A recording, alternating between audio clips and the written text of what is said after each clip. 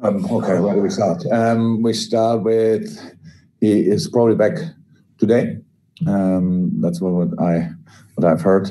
We're obviously in close contact with him all over the time, um, and how it always is in these cases. Um, in the moment when you have a negative negative test, then it's um, the the process really starts.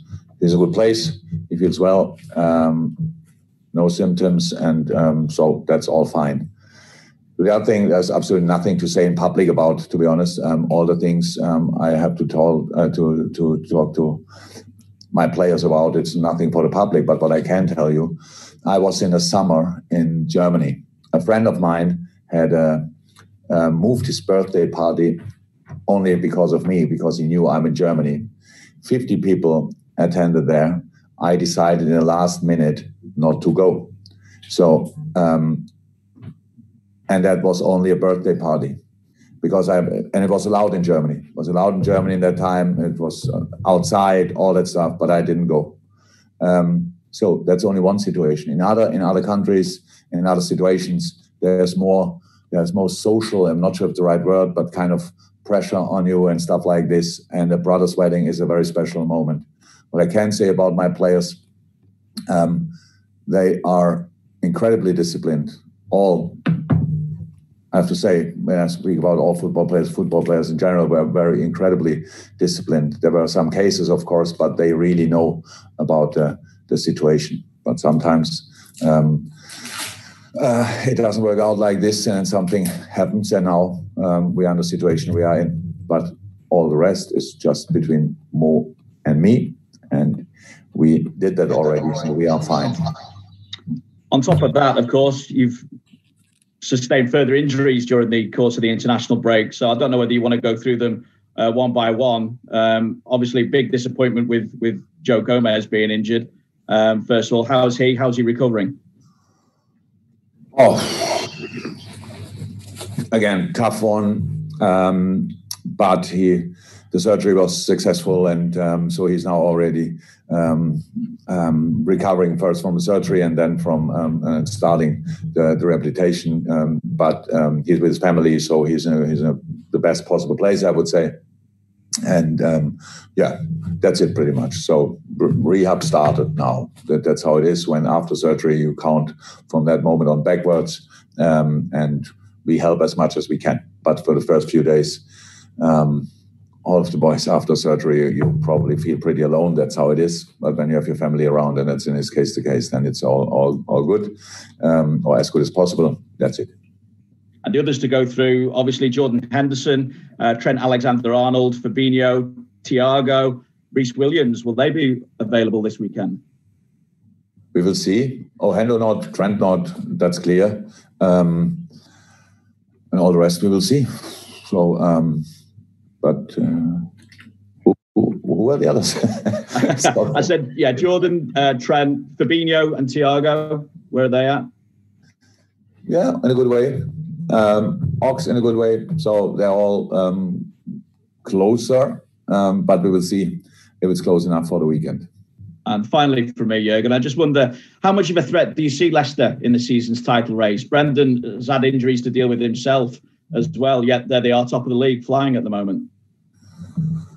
Yeah, of course they are in. Um, it's a eighth match day, and uh, Leicester showed not only last year how, how good they can be, and then this year again um, changed their style slightly. Um, had to maybe because of the, the injuries they had. Um, deal really well with it. Good example of how you can deal with a with an injury um, um, crisis, whatever. really did really well. Are in a good moment. Have a clear idea how they want to play.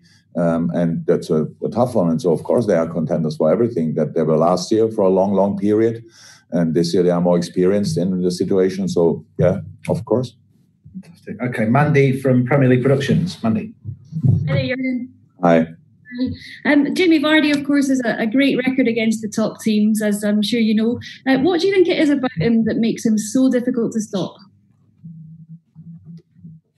His speed first and foremost um, that probably is incredible and how he uses that how smart he is how um, how he developed his game over the years he's a massive threat for everybody he, he really gambles in a good way with the with the last line. Um, is taking the risk in these situations, but is um, that his technical level is really good as well. So not only the finishing, but all the rest, first touch, all these kind of things. Jamie is a proper proper player, I have to say, and um, so yeah, it's always a challenge to defend him. And the only way I know to defend him is to make sure that he gets not a pass he wants. So that means we have to defend all the others as well. And just a, another one, we're doing a feature on leadership, so asking quite a lot of managers about that. In your opinion, what's the most important trait when it comes to leadership and management? Listening. To your players, to yourself, or?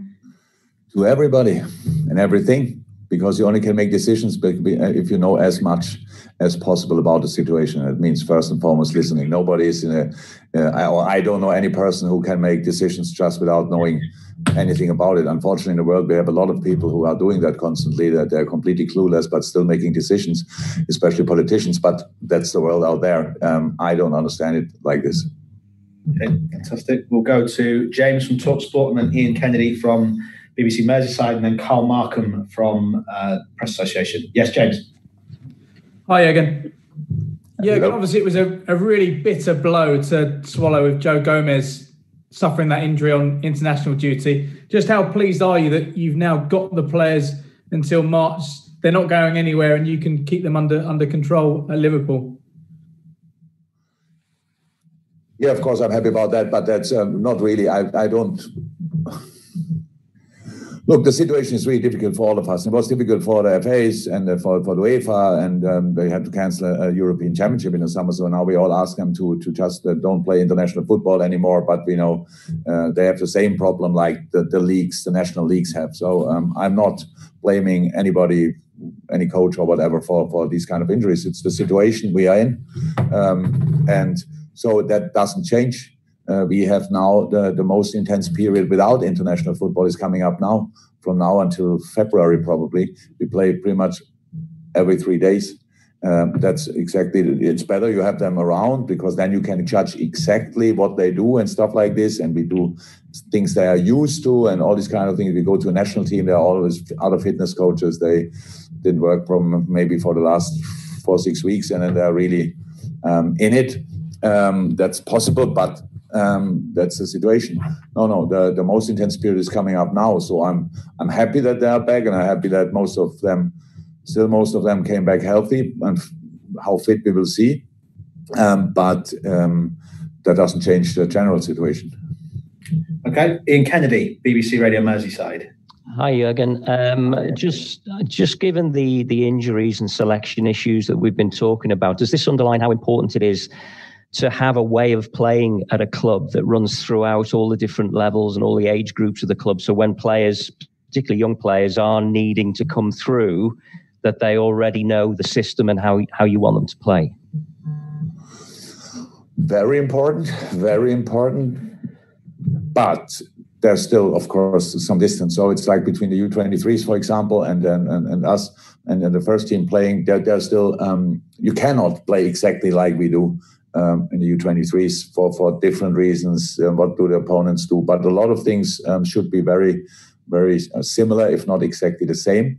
Um, and so, yes, it's very important. And in our case, it's it, in our situation, it is the case um, that the, the boys know before they arrive in our training uh, what we want them to do. But then they're still uh, a little distance. But um, the boys who came up so far were absolutely incredible. They did really incredible. Of course, we all know that Nate played a super game, Rhys played a super game. Um, Curtis is maybe the main example, but there are other boys in the training at the moment. They all look really, really good.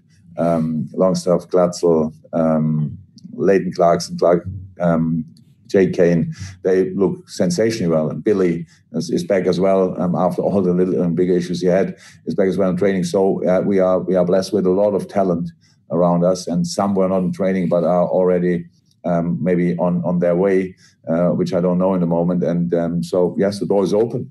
In our situation, especially, the door is open, but the door is always open, and um, yeah, it helps when you have the same idea of football.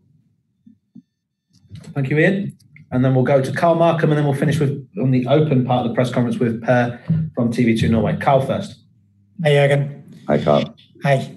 Uh, I know you've mentioned before that we're, we're in a, a, unique situation with, with this season now playing, but have you ever have you ever had to deal with a with an injury situation like the one you've got at the moment, and, and how do you approach sort of planning for three games a week when it's like this?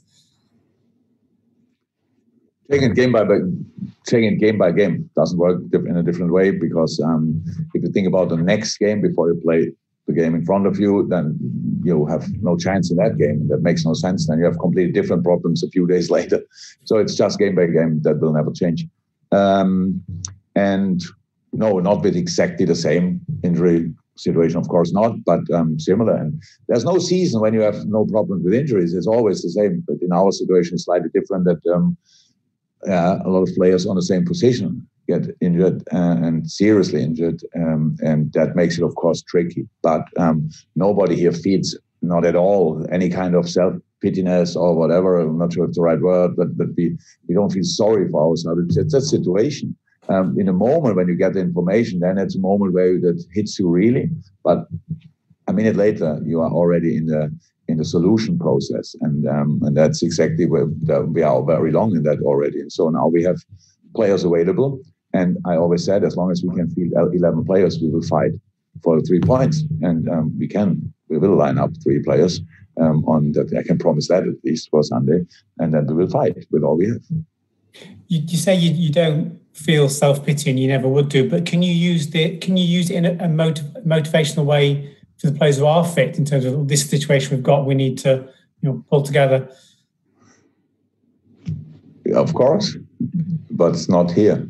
So I about what we but we are how I said we are a unit, a proper proper unit, and the more problems we have, the closer we stick together. So that was always like this, will always be like this um, in this club, and um, so yes, we will not. How I said, we don't go for excuses. We, we, we have the situation we have. We don't like the injuries we have because it's really hard for the boys who have the injury, but um, all the rest is uh, working on solutions. That's what we always do. And we have solutions in our mind. And um, maybe we think we are, that's the worst situation possible, but um, the season is long and we have only played eight games. So there will become a lot of problems. And I always said who deals the best with the problems they in front of them will has a chance to be really successful. And um, that's what we try to be. Fantastic. And just before we go to you, Per, because the guys who are going to be in the first embargo, which we'll go to after this question, start using the hands up mechanism now, which is the uh, uh, daily papers, please, or the daily publications. But Per, your question to finish the open part of this press conference. Yeah. Hi again. Hi, Per. Uh, you're probably sick about talking about injuries now, but, but obviously it's a part of the game, even if it's never fun. But do you think this could make Liverpool stronger in, in, in a kind of strange way, like this giving your players something extra to prove and fight for now? I don't think my, my players have to prove anything. So, like, um, we always deal with the difficult situation really well. But yes, it's how I said. I, I, don't obviously nobody's happy with my answers. That's why you ask constantly the same questions. So yes, we um, um, we will fight with all we have, and that means if the problems become bigger, you get closer uh, to each other, and then you you still fight. If somebody thinks we will give up before the game just because um, some of our really really best of our best players or very very important players are not available um, in the moment and for a, for a long long time, yeah, I cannot help him. But we will not do that. We just have to use accept the situation and use the situation. That's how it always is in life, and that's how it is in our situation now as well.